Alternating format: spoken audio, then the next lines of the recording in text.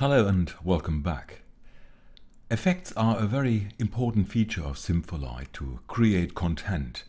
And this time we'll have a closer look at effects and the both types of effects which are built-in effects and user-defined effects and later then see how to create new effects from scratch from the so-called source effects.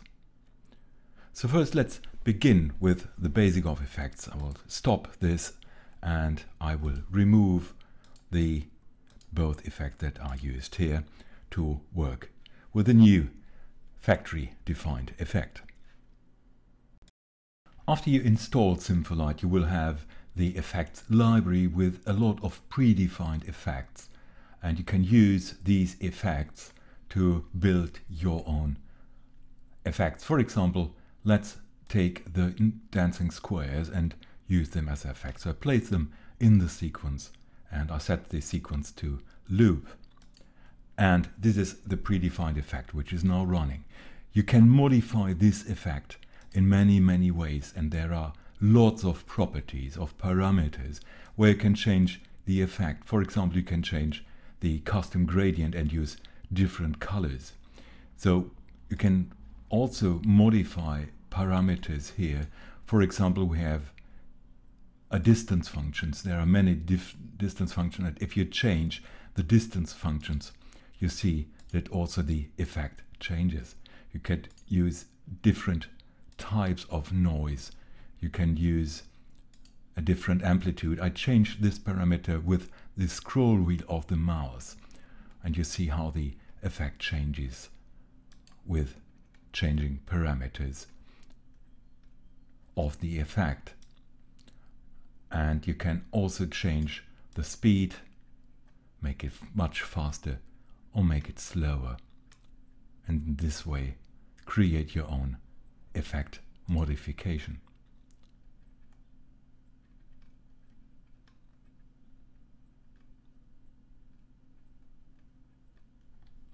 So this is the effect I created now and it's just a modified factory effect that is now running. We'll speed up a little bit. Here the persistence is used at the time that the pixels are recreated and updated. So let's say this is now the effect and I like this effect, everything's fine, I stop. So now this effect is a modified factory effect and I can now save this effect with this function create effect template. If I click this, I create a new user-defined effect. I call this far point. So now I have this effect saved as a user-defined effect. So if I delete this effect here, I can again use it again. And this is now stored locally on your system. If you want to transfer later such a user-defined effect to another system, then just select the effect and you can now export this effect as a template. And I can save it, for example, as farpoint.slet, which is a Sympholight effect template. And this is my area in my Dropbox where I can save my shows. So I save it. I could now, from my file system on my disk, use this effect to transfer this to another system.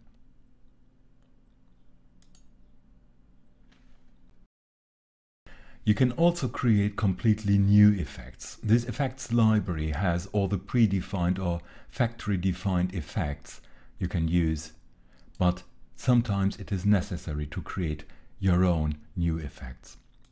So I delete this effect here and to create new effects, you have to use the area of source effects. And in these source effects, you have the building blocks to create new effects. Every effect consists of two components. One is the rendering effect, which creates colors, and the second one is the transform effect, which modifies these colors in some way. If we take from our list of source effects, for example, the tangential color effect, this effect is a transform effect. If I select this in the layer, then you can see these teddy bears. And these teddy bears mean that the effect is either not complete or the rendering and the transform effect do not fit together. Here it is no problem. And if I select the tangential effect, you see that for the effect, the tangential effect is missing its rendering effect. I can now select a rendering effect and I select the color gradient. And now the effect becomes complete. If I play it, you see this new effect, which is a tangential effect with a changing color scheme behind. I can now modify this effect in some ways. For example, I can make it a little bit slower or I can change the custom gradient that is used for single colors, multicolors or different colors selected. So now I have created a new effect from the source effects and I can save this effect again and I call it multicolor tangential.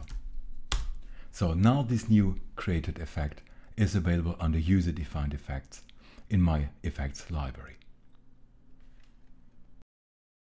I will now create a second effect, a new effect. I delete this one because I have it in my library. And this time from the source effects, we will use the layered 2D color effect. The layer 2D color effect is a very special function. If I place it in a layer here, this effect has two sublayers. In the first sublayer, I place an image from my media library. I take the Sympholight logo.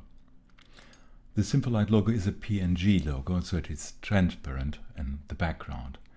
In the second layer, in the second sublayer, I now place a circular color effect. You can see the teddy bears because this effect has a missing rendering effect. For rendering, I choose color gradient. And now what I get is the Sympholight logo merged together with the circles into a single output layer.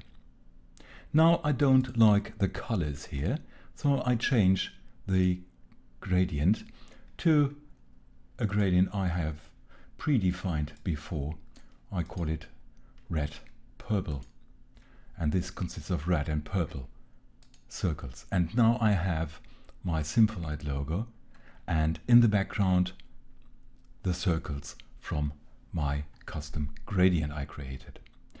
And the two sublayers are now merged together into a single layer. I can see now that this is really a single layer, even it is composed from an image and an effect. And I can resize this composed layer like a single layer and I can switch it back to the complete fixture and layout area. So this is the layered 2D color effect where I can mix two effects. I can even use videos, I can use images. And here in the second sub layer, I have here my, my color effect. I can mute this sublayers as I can do it for a main layer. And so these two are merged together into one layer.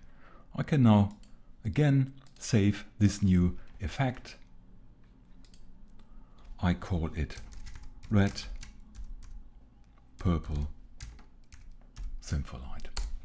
And this now is also part of my user-defined effects in the effects library. The whole area of effects library, source effects, and all the possibilities I have, I have these color effects.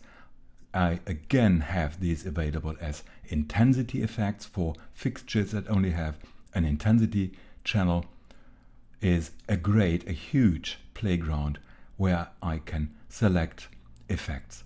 Keep in mind that the effects are always composed from a transform effect and a rendering effect. And whenever placing a transform effect into a layer, you have to select for this new effect. In most cases, also a rendering effect. That's the story behind the whole thing. So it's just something you can play a lot with.